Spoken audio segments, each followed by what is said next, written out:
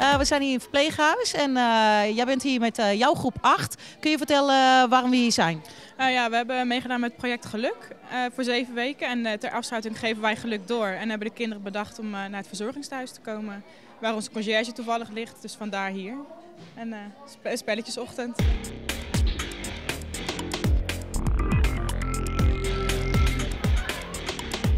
Ik vind het heel gezellig en uh, het is ook leuk, want je speelt met uh, oude mensen en ook hele lieve mensen. Dus het is heel erg lief en leuk. Je bent aan mensen erg genieten. En waarom? ik vind het gewoon een leuk spel en ik speel het ook met mijn oma, die zit ook in het bejaardentehuis. wat houdt dat project precies in? ja, de kinderen bewust te worden van dat ze zelf hun geluk in de hand hebben. Dat ze ja, beseffen dat ze ook iemand zijn op deze wereld. Dat ze trots op zichzelf mogen zijn en dankbaar voor wat ze hebben. En dat uh, ook kunnen doorgeven nu. Ja, we zijn hier uh, namens uh, de Gelukskoffer.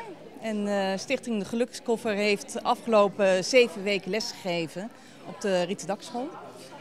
waarbij we de kinderen hebben geleerd wat geluk is. en dat geluk voor een deel ook, dat je daar zelf je invloed op hebt.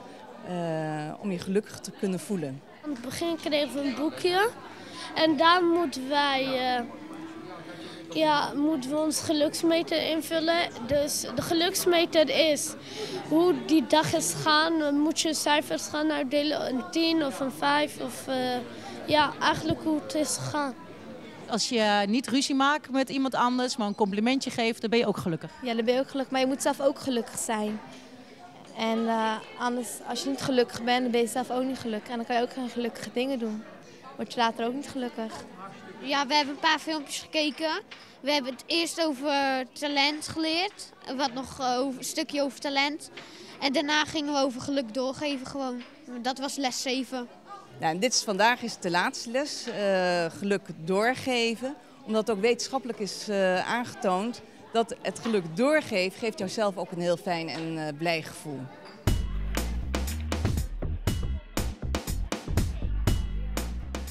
Hoe uh, geef je geluk aan andere mensen door?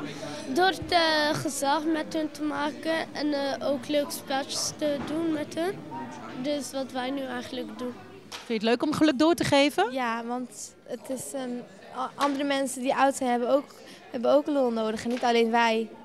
En daarom zijn we hier eigenlijk. Kinderen mogen het altijd op hun eigen wijze bedenken wat ze, en hoe ze het gaan doorgeven.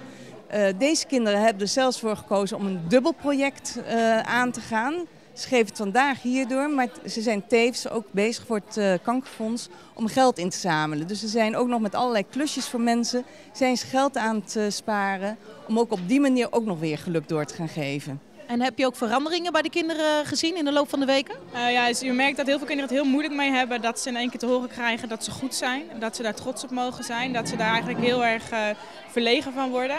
En uh, dat ze de loop der tijd dat steeds meer accepteren, dat ze trots op zichzelf mogen zijn. En dat ook van een ander kunnen horen en dat gewoon dankjewel kunnen zeggen en dat uh, ja, zo nemen. Dat is heel leuk om te zien.